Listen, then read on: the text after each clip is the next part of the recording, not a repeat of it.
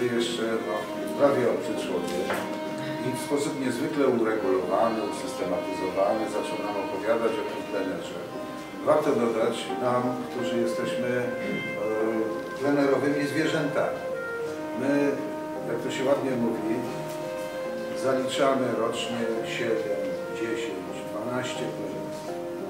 Są artyści, którzy w ogóle nie uznają tego typu formy pracy, uważają, że, że mogą pracować wyłącznie w ciszy i skupieniu własnych pracowni. E, popadając w rodzaj błogostanu, który jest czymś najgorszym według nas. Przepraszam, że za Was mówię, ale znamy się dosyć dobrze i myślę, że, że mam e, po temu prawo. My, y, którzy jesteśmy plenerowi, jesteśmy ludźmi, którzy mają świadomość tego, że należy wychodzić do e, artystów, że nie wolno traktować ich jak konkurencję, ponieważ z gruntu jesteśmy po tej samej sprawie barykady. Zatem kilka lub kilkanaście razy do roku podnosimy przy ulicy i spotykamy się na plenerach, gdzie mamy szansę, czy nazwałbym to rodzajem twórczego poligonu. Mamy szansę spojrzeć sobie w oczy, popatrzeć na to, co zrobiliśmy i, e, że tak powiem, utrzymywać naszą twórczą psychikę w dobrej kondycji. Znaczy mieć świadomość tego, że ktoś robi inaczej, ale robi znakomicie, dyskutować, rozmawiać, przyjaźnić i tak. Więc my jesteśmy właśnie... z- I otóż nagle pojawia się facet, jak się później okazuje, świetny artysta, ale mentalnie jest poskładany, niesamowicie zupełnie. Przepraszam Cię za to niezręczne sformułowanie, ale w ogóle ja w pierwszej chwili myślałem, że facet ma mentalność księgowego. Tak? To wszystko powiedział od tej do tej, co, a ja wiem, że ma do czynienia z ludźmi, którzy łamią wszelkie konwenanse, wszelkie formy i tak dalej. Jestem pierwszy do łamania takich rzeczy.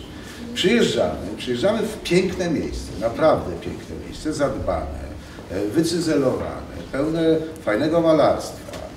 E, On jest w rozpaczy, ponieważ nie wiem, jakie ty masz wyobrażenie o nas, bo błagam, róbcie wszystko, tylko nie plujcie na obrazy, nie, nie, nie zamierzajcie się na nie szablami, jak, jak, jak Danek Olbrychski i tak dalej, i tak dalej.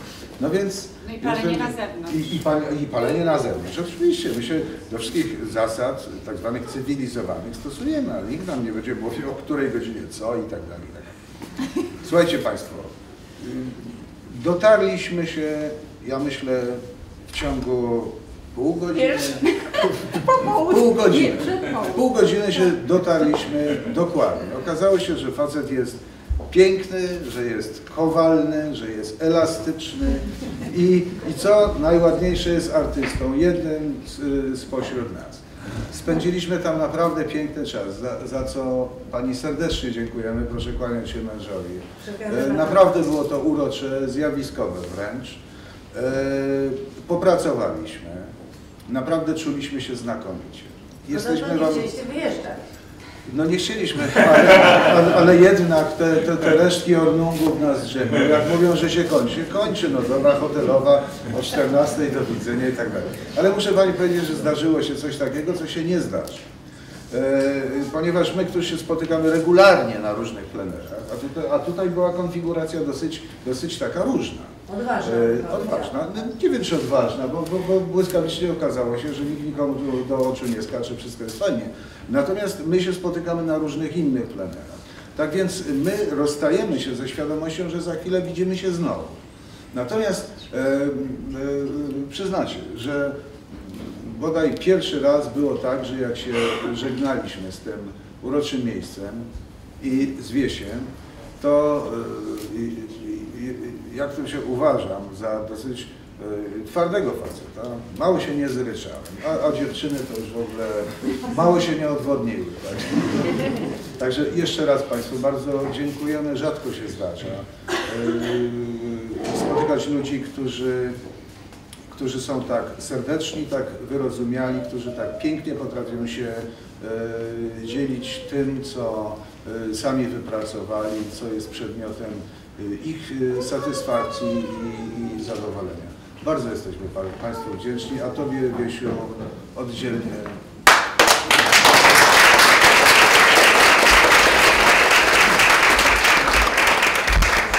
Jeszcze tutaj mamy dla wszystkich pamiątkę, tak? Ja, jeszcze, ja chciałam powiedzieć, że e, Wiem, że Państwo zaproszenie w każdym momencie, jak tylko by była chwila na to, żeby balować właśnie w Smolsku, to zapraszam i myślę, że Wiesiu też na pewno zapraszałeś. Oczywiście, wiadomo. A dziewczyny, Asia, która pomagała, jedna i druga. Malować Myślę, że... A to jedno i drugi raz. Tak? Pani Jasia, bywało lepiej. Pani tam, wszędzie tam, gdzie nie istnieje obojętność, ta rzeczywistość jest miejsce na czas i sztukę. Co tu mamy? Pani Małgorzata, a tu dalszy ciąg. Każda kolejna wystawa w Kabaret Galerii to kolejna wyprawa e, do czyjegoś świata, do czyjegoś postrzegania rzeczywistości. Dziękuję bardzo. I Pani Renata jest jeszcze dalszy ciąg tego. Dlaczego dziękujemy, że zechciała Pani podzielić się z nami swoją pasją? Pan Daniel, proszę bardzo. E, dziękujemy, że mogliśmy się stać świadkami Pańskiej niezwykłej. Proszę. Panie Przemysławie, tu nie jest to napisane, ale e, dziękuję bardzo i zapraszam do Smolska, nie tylko Pana.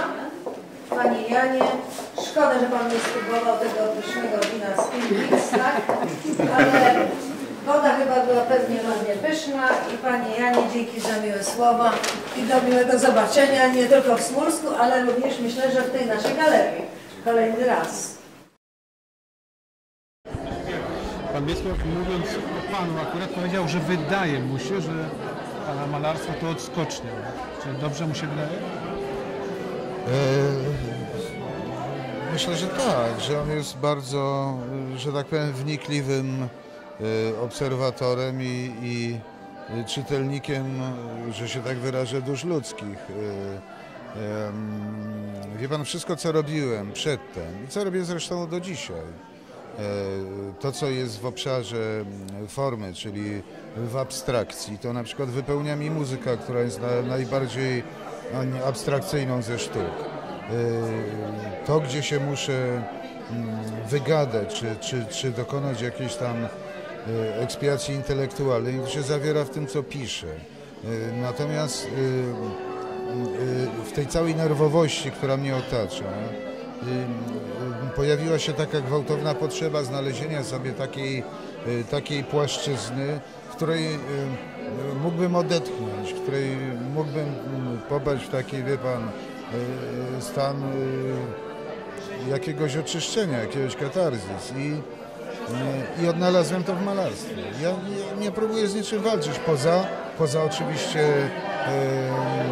y, urodą tego świata, którą próbuję wyłuskać, no i oczywiście poza warsztatem, który, który prowadzi do pewnej syntezy, to znaczy powoduje, że y, jednym, dwoma, trzema uderzeniami grubego pędzla można y, stworzyć świetne światło, harmonię. 7, 8, 12 plenerów w roku? To prawda? Rzeczywiście tak jest?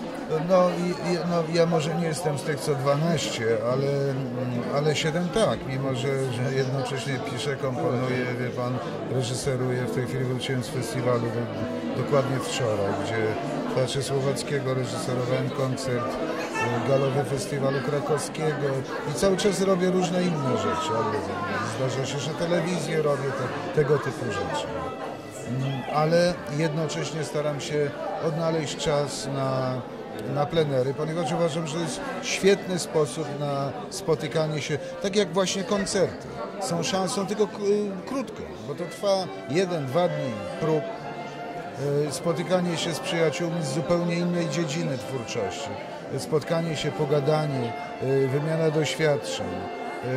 Natomiast plenery to jest, to jest minimum dwa tygodnie, bywa trzy, a i więcej.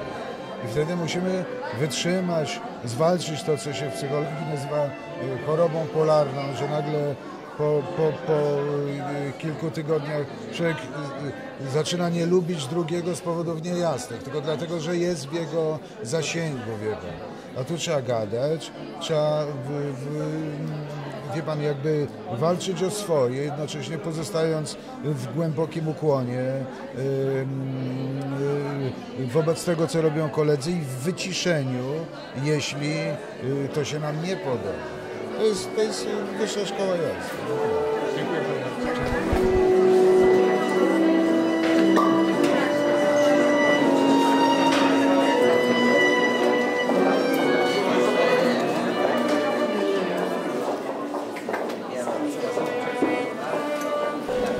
Boberowisko to oznacza, że jest Pan od początku do końca autorem tego całego przedsięwzięcia? Boberowisko to jest określenie pewnego przedsięwzięcia, tego działania, które się tam ma odbywać. Ponieważ jest w Polsce bardzo wiele plenerów, a zwłaszcza wśród międzynarodowych ogólnopolskich. Każdy taki plener ma e, dodatkowe hasło, które jakby określa nie tylko miejsce, ale też wydarzenie.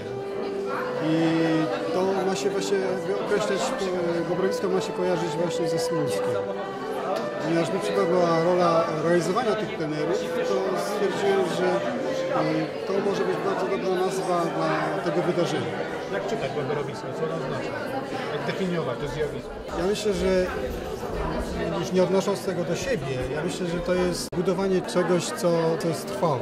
Wydarzenie, które ma się wpisać w naszą kulturę. Że mam takie nadzieję, że to te, te plenery e, staną się na tyle ważne i popularne, że artyści będą mieli gdzie spotykać się i tworzyć.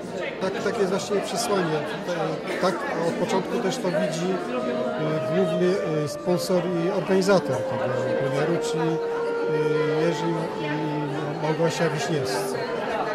Dlaczego taki dobór artystów Pani bardzo precyzyjnie wybrał? Jak to się stało?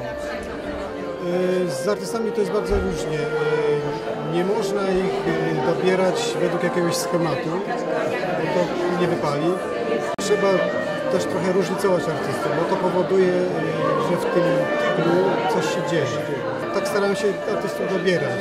Tak dobierać artystów, żeby e, ich twórczość e, była e, po pierwsze wykorzystana w sensie tego miejsca, żeby oni tam znaleźli swoje, swoje miejsce, żeby oni tam znaleźli tą wenę twórczą, bo nie każdy artysta nadaje się do pracy w plenerze.